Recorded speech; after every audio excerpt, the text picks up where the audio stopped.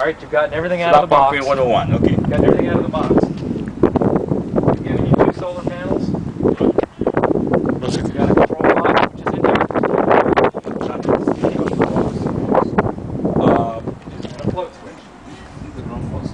Yes. Okay. It's coming from Grundfos also? Yep. Control.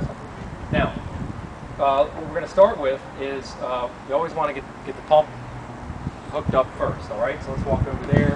We don't want to start dealing with hooking stuff in. So what we do here is start with the pump. And make this about as easy as, as possible because we are unplugged over there, right? Yep. The pump is polarity neutral. Doesn't matter positive to positive, negative to negative. You don't need to worry about it. Just- Oh, really? just all you got to know is that coming off the pump, this striped wire is the ground wire. That was the ground. Yep.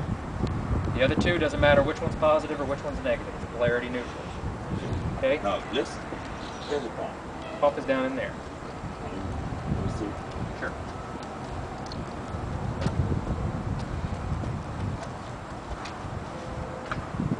This one's a little bit different. This is a centrifugal pump.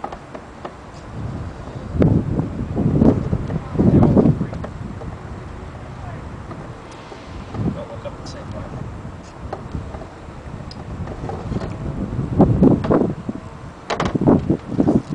The Grundfos. Yep. All stainless steel components. Let's take. Okay. Um, weighs about 20 pounds. just like this. This is how the pump comes. You take the pump out of the box, it's going to look just like this. It's the this is a centrifugal one, which has got a, a bigger head up here. Uh-huh. The helical rotor, which is the ones that we're Right, talking about, are right. longer. Right. But okay. look, other than that, it's pretty much the same. That's fine. Okay? That's fine. You've got spots up here for for uh, a safety rope.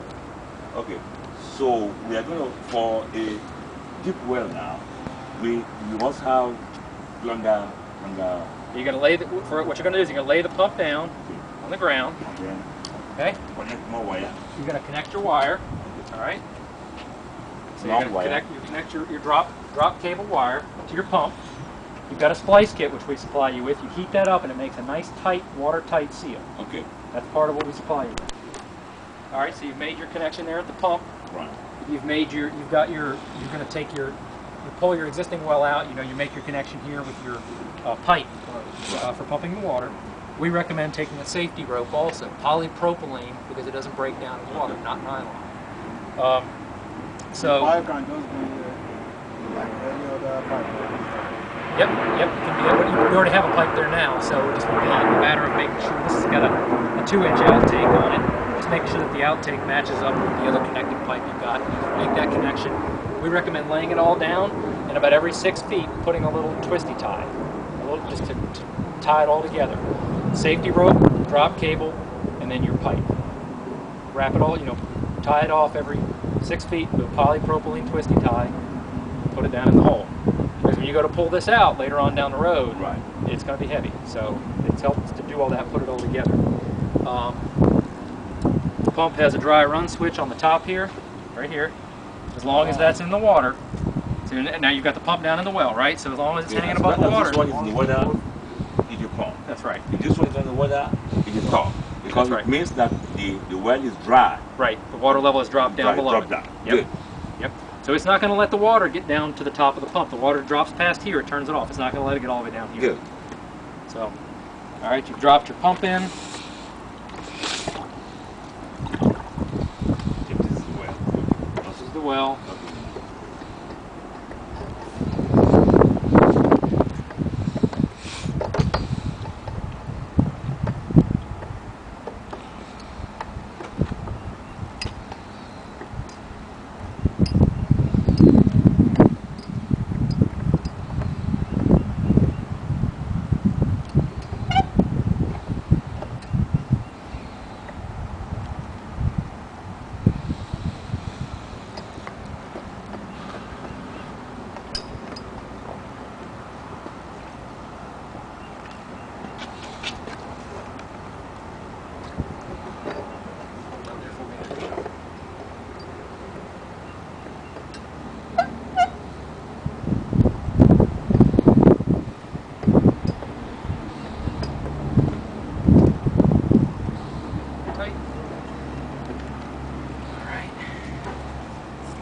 where is this cable coming from? Right now, it's not hooked up to anything. It's just it's just a cable that you you got. You went out and bought. Uh, you can use whichever you want. This is number eight, uh, number 16 or 18.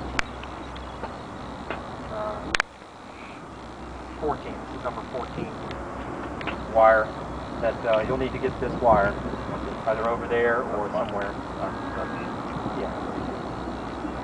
Uh, doesn't matter how you wire this up as long as you do the ground wire correctly.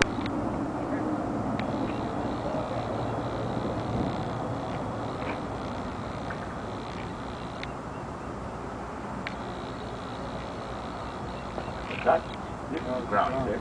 Yep. The ground right there.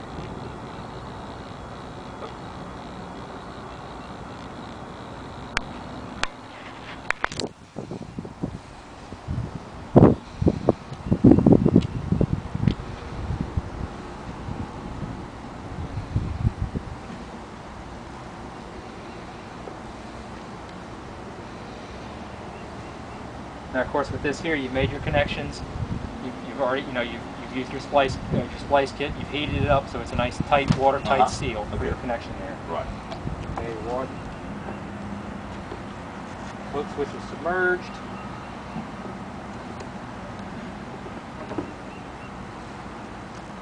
Okay, looks pretty good. Now, All right, now, that cable. now we want to go ahead and take this. You got your CU200. Your CU200 control box comes with a nice little illustrated booklet here, Okay. which shows you how to how to wire it up. Oh, okay. Okay, so you uh, you don't want to have it in the sun. You want to have it mounted underneath the solar panels. So you're back underneath the solar panels. Underneath, okay. underneath. You're going to attach it right to the racking.